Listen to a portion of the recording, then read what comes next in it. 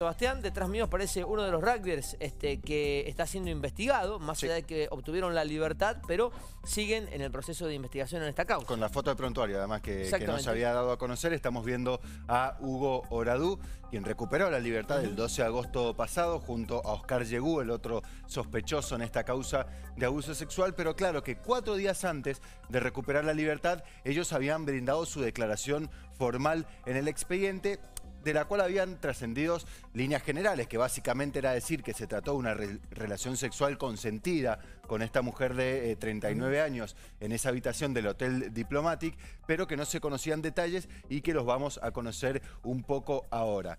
Vamos a repasar el testimonio o qué es lo que dijeron los dos todavía sospechosos en esta causa, porque recordamos que más allá de que están libres, siguen imputados en el expediente y sin lugar a dudas, por ahí Hugo Oradú es el más complicado porque es el que más tuvo relación. Perdóname, él es el que se va con ella del boliche al hotel. De hecho, él en su testimonio comienza relatando, le ganamos el partido a los Pumas, hicimos una cena donde empezamos a beber cerveza en el hotel, de ahí fuimos a un bar en la Aristide, que se conocieron las imágenes, y de ahí nos trasladamos al boliche Wabi. ¿Qué es lo que hice cerca de las 5 de la mañana? Conozco a esta mujer de 39 años, nos, nos costaba un poco interactuar primero por la música fuerte y después porque ninguno de los dos hablaba muy bien el inglés, pero dice, ella me empieza a besar a mí, yo le digo que sigamos todo esto en el hotel. Y acá hay un punto importante, le avisé que éramos dos en la habitación, es decir, ¿qué es lo que adelanta acá? No es que el otro entró de prepo cuando estábamos teniendo relaciones sexuales, sino que ya en el boliche le había avisado que si íbamos a la habitación había, iba a estar mi compañero muy probablemente. Bueno, relata cómo llegan al hotel, qué es lo que se ve en las imágenes de la cámara de seguridad y, en ese punto hasta incluso coincidiendo con lo que relata la víctima. Ella nunca niega eh, haberse justamente rechazado, no haber tenido consentimiento de ir al hotel. Van al hotel en un Cabify junto a otra pareja, llegan hasta la puerta de la habitación. En ese momento Hugo Gradú se da cuenta que se olvida la llave, baja a la, recepción, a la recepción pide la llave e ingresan a la habitación. Y ahí está el kit de la cuestión. Según la víctima, un abuso sexual, según los sospechosos, una relación consentida. A tal punto que Hugo Oradú dice, era ella quien tomaba la iniciativa. Incluso él habla de este primer encuentro sexual donde eh, queda un poco trunco porque él no lograba tener una erección, incluso habla de que no, pueden terminar de consumar esta relación consentida, según Oro Hugo Oradú, y en ese momento, 15 minutos después, ingresa a la habitación el segundo eh, imputado en esta causa, que es Oscar Yegú, el, el rubio. O sea, no estaba dentro, sí No estaba dentro, entra a los 15 minutos, Dice que se produce un momento incómodo, como que se miran entre los tres, pero bueno, que Oscar Yegú se acuesta en su cama, ahora vamos a ver qué es lo que declaró él, se acuesta en su cama y ahí Hugo Oradú dice, en ese momento ella, la denunciante, fue quien se cruzó a la cama de Oscar Yegú y lo, lo empezó a excitar y empezaron a tener una relación sexual. Yo ahí me duermo. Esto es lo que relata Hugo Oradú.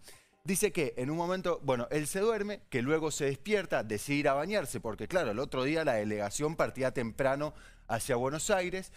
Eh, dice que la mujer seguía en la cama de su compañero y que cuando él sale de la ducha, la, la presunta víctima o la mujer de 39 años vuelve con él, ahí vuelven a tener una segunda relación sexual, según su testimonio, e incluso él dice acá un punto que podría haber sido clave en la causa, que es yo la empiezo a filmar, con su consentimiento. Incluso dice, ella jugaba con la cámara. Estoy citando literalmente lo que dice este joven de 21 años. Claro, ¿qué es lo que le pregunta la fiscalía? ¿Dónde está ese video? Podría ser un video clave que muestra el consentimiento. Él dice, no, se lo envié a mis amigos eh, por la aplicación Snapchat, que es una, a un grupo que tengo con unos amigos, que es una aplicación donde los contenidos duran 24 horas nada más. Por esto no se puede recuperar, así que la existencia de ese video queda solamente en la palabra de él, no se puede verificar. Y acá dice una frase que para mí es muy fuerte, que él busca lógicamente alegando su inocencia, dice, la verdad que nosotros con nuestro porte, dice, yo mido dos metros, eh, Oscar Yegú mide un metro noventa, si lo hubiéramos pegado, la mm. podríamos haber matado o haber dejado en un estado deplorable. Textualmente lo que declaró Hugo Oradú aquel 8 de agosto.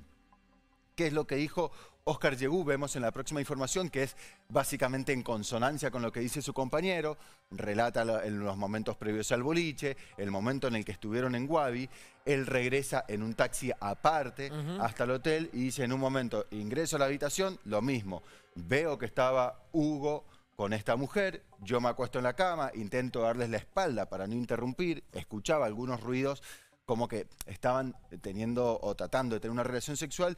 Dice, y en un momento esta chico, la chica se vino a mi cama. Empezamos a tener relaciones, a mí me sorprendió y no me negué. Incluso en un punto él dice, hasta ahora me siento mal, porque claro, él tiene una relación, tiene una novia en Francia, dice, y en el mismo momento, me, cuando una vez que termina la relación, me empecé a sentir mal porque había engañado a mi novia. Pero acá hay un punto clave según ellos, es la mujer quien lo busca a él que para la querella es algo raro, porque dice, ¿cómo la mujer va a ir a tener una relación sexual con una persona con la cual ni siquiera había hablado en el boliche? A él no lo había conocido directamente en el boliche. ¿Por qué va a ir de prepo a tener una relación sexual con Oscar Yegú? Y luego, ah, bueno, también relata que luego se da una ducha, luego de, este eh, sexo, y que eh, también agrega, soy inocente, nunca fui violento, ni violé a esta chica. ¿Cuál es la gran contradicción que hay, digo, con, la teoría de la querella, con lo que dicen estas personas, que fíjate que ninguno de los dos habla de eh, sexo fuerte o sexo violento, como para terminar de explicar las 15 lesiones que tenía la mujer. Que esas sí quedaron constatadas. Constatadas con el cuerpo médico forense, 15 lesiones que son... El abogado que los defiende habló de una, de una enfermedad, de una patología. Bueno, exactamente, porque claro, sí. Porque si alguno de ellos dos hubiera dicho, sí, tuvimos sexo y fue eh, casi rozando los sadomasoquistas, o a ella le gustaba que la, que la golpeen en la relación sexual, bueno, ahí uno puede entender que tenga moretones, que tenga rajunión en la espalda y demás. Como eso no está en la declaración de estas dos personas, o hasta incluso Hugo Bradú dice en la primera relación casi ni la consumamos, por, este motivo que le explicaba recién, que es lo que dice la defensa. Bueno, ella aparentemente ocultó una enfermedad donde tiene cierta tendencia a que se le marquen moretones cuando cuando tiene una lesión leve. Algo que de todas formas no está constatado em, médicamente en la causa. Así que bueno, eh, veremos cómo avanza la investigación. No queríamos dejar también de, así como se conocieron detalles de la declaración de la denunciante, también detalles de la declaración de los rugby, que hoy por hoy siguen en libertad, que se siguen sometiendo a pericias psicológicas y que veremos en las próximas semanas si finalmente son sobreseídos o esta causa finalmente es elevada a juicio.